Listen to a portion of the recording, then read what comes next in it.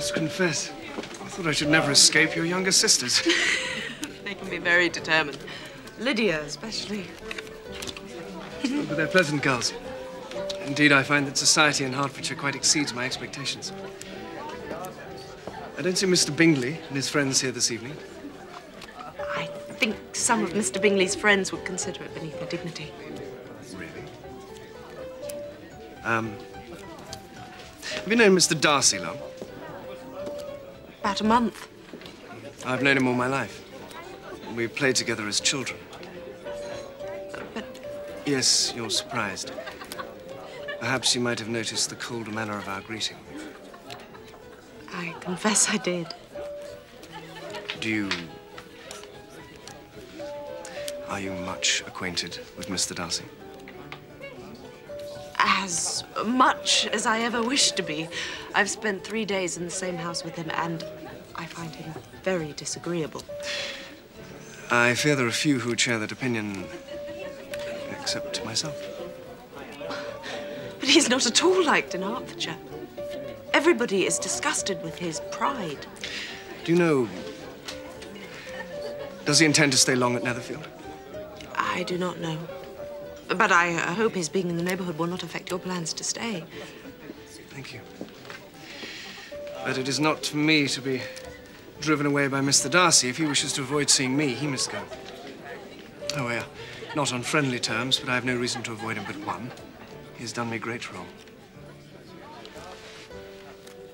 His father, Miss Bennet, the late Mr. Darcy, was my godfather and one of the best men that ever breathed.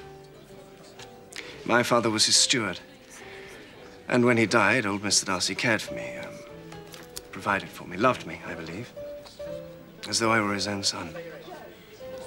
He intended me for the church. And it was my dearest wish to enter into that profession. But after he died, and the living he had promised me fell vacant, the son refused point blank to honor his father's promises. And so, you see, I have to make my own way in the world. This is quite shocking. I had not thought Mr. Darcy as bad as this. To descend to such malicious revenge, he deserves to be publicly disgraced. Someday he will be, but not by me. Till I can forget his father, I can never defy or expose him.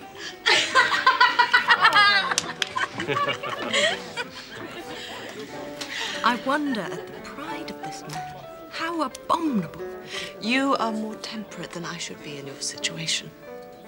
Well, I've not the resentful temper that some men have. And my situation, you know, is not so bad. Present, I have every cause for cheer. I cannot bear to be idle, and my new profession gives me active employment. My fellow officers are excellent men, and now I find myself in a society as agreeable as any I've ever known. You see, I absolutely forbid you to feel sorry for me.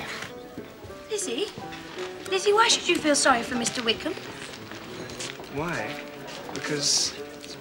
Because I've not had a dance these three months together. Poor Mr. Wickham! Well, you shall have one now. Mary! Mary, the barley mow! Oh, Mr. Collier!